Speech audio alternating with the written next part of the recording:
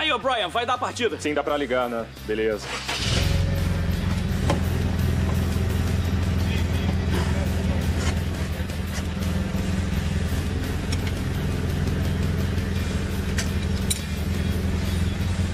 É isso aí. Mas, Nossa, que apertado.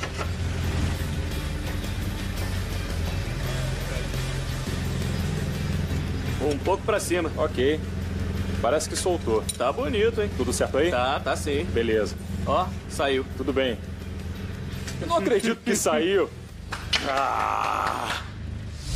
Que legal, o computador é parafusado atrás, né? Pois é, eu gostei. Acho que eu vou roubar essa ideia. Todos deveriam vir desse jeito. Bom, ele tá começando a ganhar forma. Forma de É. motor gigante Eu já tô mais confortável com o que eu tô vendo. que saiu de um motor de popa. É. Agora, vamos falar do que a gente conhece. Sim. O cliente comprou um kit de troca LS, sabe? É. De poucas peças. É. Então vamos ver quantas servem para fazer o motor entrar no carro. É, eu espero que dê certo. Nós temos que trocar o cárter de óleo, que vai limpar a barra transversal. Coletor de óleo, as juntas, temos Isso. os coxins do motor. Isso. Temos coletores aqui, um coletor antigo, um carinha bastante razoável aqui. Agora, se você viu o coletor antigo, é claro que tem um sensor nele, mas uma das coisas é que, comparando um barco com um carro, você não pode queimar os painéis laterais. E não pode queimar o solo enquanto É verdade. está cheio de combustível. Então, o que eles fazem é transportar a água pelos coletores até ela voltar resfriando os coletores.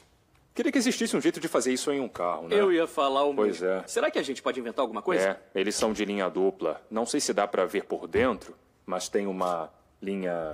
Com certeza Dupla. dá pra fazer um reservatório e, É, e bombear por meio deles. esse foi pesado, mas. Sim. Esse aqui é bem leve. Uh, eu tô. Beleza? Nós temos que tirar tudo isso daqui, então. Vamos lá. Vamos ver se podemos fazer alguma coisa. Você tá com as ferramentas. Beleza. Vamos ver se tem fluido. Não, nada de fluido.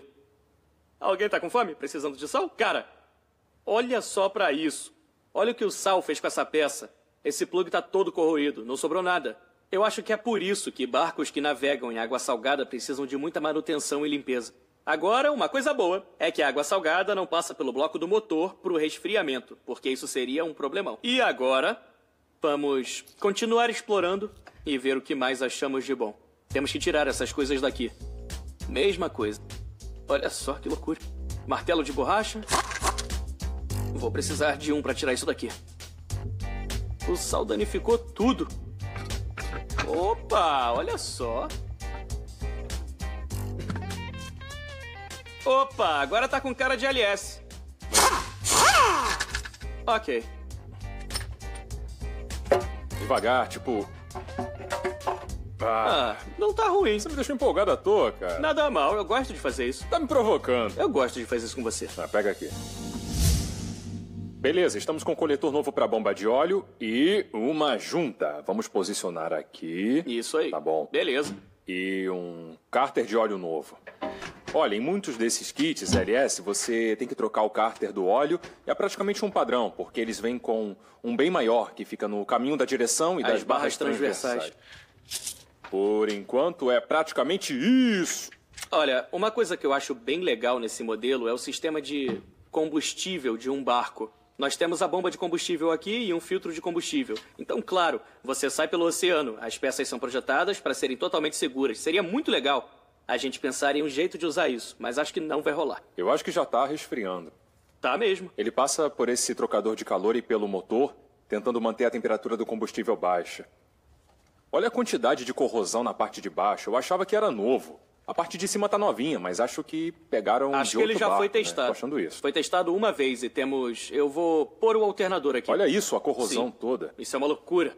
Mostra o que o sal faz com as peças. É, e por esse motivo que eles desmontam tudo, pintam, não deixam nada de alumínio sem cobertura. Uhum. É, é verdade. Mas aqui, o trabalho não foi tão bem feito não, hein? É, O motor de arranque foi pintado justamente por isso. Espero que o restante esteja bom. Tem Pois muita, é, vamos lá, pronto, tá mexendo aqui. muita pressão nele, né?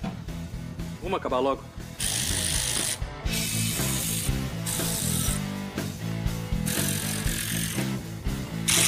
Ok, tiramos as duas bombas de combustível, colocamos o cárter de óleo e tá quase tudo feito. Estamos chegando perto, ainda temos que tirar umas coisas do carro e podemos encaixar o motor. Isso, estamos quase lá. Bora descansar um pouco pra voltar.